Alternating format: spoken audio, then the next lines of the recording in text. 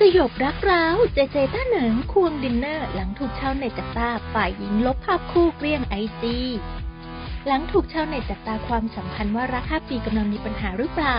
สำหรับคู่รักวัยรุ่นเจเจกฤษณภูมิพิบูลสงคราม และหวานใจสาวต้าเหนิงกัญญวีสองเมืองค่ะเพราะพักหลังๆไม่ค่อยเห็นทั้งคู่ออกมาอวดโมเมนต์หวานผ่านอินสตาแกรมให้เหมือนเมื่อก่อน อีกทั้งทางด้านสาวต้าเหนิงก็ยังโพสต์เพลงเศร้าๆ All Too Well ลงใน IG Story ด้วย ซึ่งเนื้อหาของเพลงนั้นก็หมายถึง การโอบกอดความทรงจำด้วยความเจ็บปวดค่ะ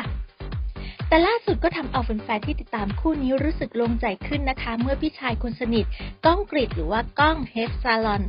hair stylist ระดับท็อป ได้โพสต์ภาพถ่ายร่วมเฟรมระหว่างตนเองและเจเจต้าเหนิงลงอินสตาแกรมส่วนตัวค่ะ พร้อมกับแคปชั่นที่ว่า hunting for dessert dinner time พาอ้วงมาเลี้ยงหน่อย งานนี้ทำเอาแฟนๆใจชื้นขึ้นมาทันที เรียกว่าเป็นภาพคู่คลายความสงสัยให้ชาวเน็ตได้เป็นอย่างดี ว่าทั้งสองยังแฮปปี้กันอยู่ ส่วนสาเหตุที่สาวต้าเหนิงลบรูปนั้น คงต้องรอให้เจ้าตัวออกมาชี้แจงแล้วล่ะค่ะ